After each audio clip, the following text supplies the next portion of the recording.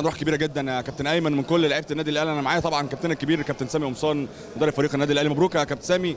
الروح والقتال والعزيمة بنتكلم عليها كل مرة لأن هي دي لعيبة النادي الأهلي وهي دي شخصية لعيبة النادي الأهلي. الجهاز الفني بنشوف حماس بره وتشجيع وتحفيز بينقصنا التوفيق والحمد لله رب العالمين. مع الأداء والاجتهاد والإصرار ربنا بيوفقنا الحمد لله. الحمد لله. طبعا تحياتي كابتن أيمن وكابتن يوسف وكابتن عادل هاني هاني وكابتن علي مهو طبعا. زي ما أنت قلت طبعا ميزة من مميزات النادي الأهلي من أول ما النادي الأهلي ابتدى مباراة صعبة وأنت عارف كل المباريات هتبقى صعبة خصوصا من الفرق اللي بتنافس على الهبوط. آه، لكن أعتقد إن إحنا من فترة كبيرة ما اديناش الأداء دوت. الحمد لله شايف إن إحنا كنا كويسين جدا شوط تاني كمان أكتر.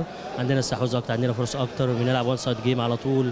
عندنا فرص الحمد لله عندنا كثافة في ال 18 فأعتقد الحمد لله من المباريات اللي اللعيبة بدأت تيجي. اللعيبة بدأت تخش في الفورمة الحمد لله. عندنا حلول عندنا تغيير في طريقة اللعب كذا مرة. الحمد لله الناس اللي بره برده كان لها دور كبير في في في المباراة والنتيجه سواء بالأهداف وليد أو جون أو قفشه أو جونيور أو حتى أيمن الفترة اللي لعب بيها لما لعبنا واحد زي- زيادة لما هم لعبوا بثلاثه قدام وكده. فأعتقد الحمد لله دي نتيجة مرضية جدا لينا وخطوة نحو اللقب إن شاء الله. بشكر اللعيبة طبعا على الجهد دوت. شايف الجو عامل إزاي والرطوبة عامل إزاي والتكتل اللي الفرقه اتحاد السوق بتلعب فيها. فأعتقد الحمد لله نتيجة مرضية لينا الحمد لله وجمهورنا. آخر الفوز أنا يمكن أنت ذكرت التكتل ويمكن الطريقة اللي المنافس بيلعب فيها. أنت عارف يا كابتن سامي أي فريق بيقابل النادي الأهلي بيقابل البطل وبتبقى مباراة بطولة.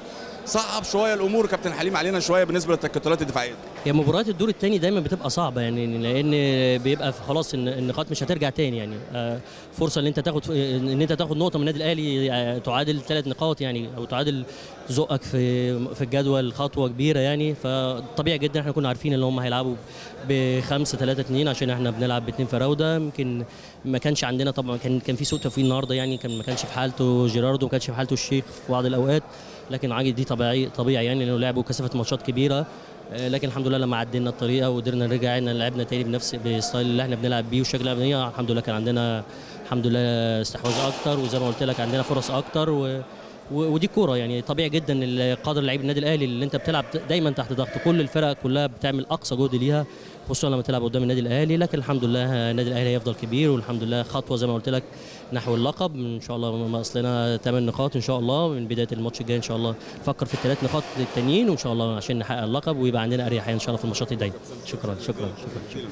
كل الشكر والتقدير طبعا لكل نجوم النادي الأهلي وكل كباتن النادي الأهلي. مباراة أكتر من رائعة ومباراة مهمة. صعوبة المباراة جاية في الفوز والفوز يمكن الحمد